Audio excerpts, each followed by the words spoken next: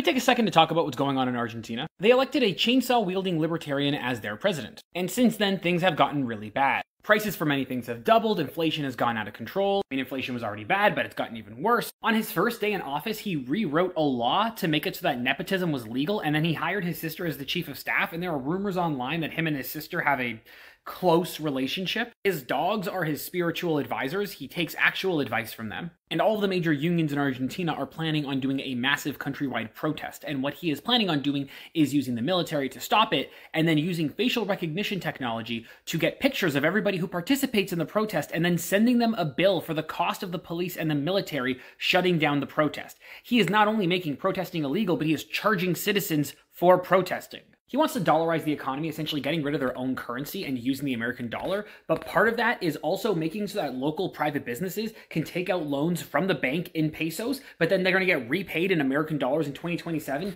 meaning that it's going to be the job of the central bank and the taxpayers to pay back the loans of these corporations. He cut over 50% of the ministries, including anything to do with women's rights or culture. And guys, I'm not even scratching the surface here. I know that Trump is bad. I know that there's a lot of alt right characters across North America and Europe that are bad.